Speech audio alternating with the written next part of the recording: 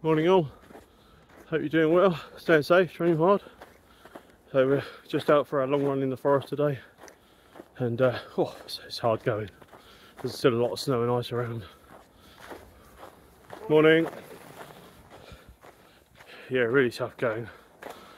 Struggling to get below 10 minute miles at the moment. So uh, it's uh, yeah, most of them have been 11 even, or maybe 12 and some of the hillier ones. So uh, yeah, definitely hard going, very slippery, very icy, hard on the legs.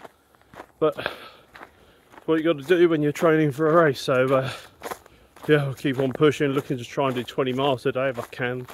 Um, depends on time really, how long it takes. But at the moment it's slow going, but we'll be out the forest soon, off onto some hard standing for a little bit. So, uh, but anyway, I hope you are doing well. Have a great Sunday, and I'll catch up on the channel soon.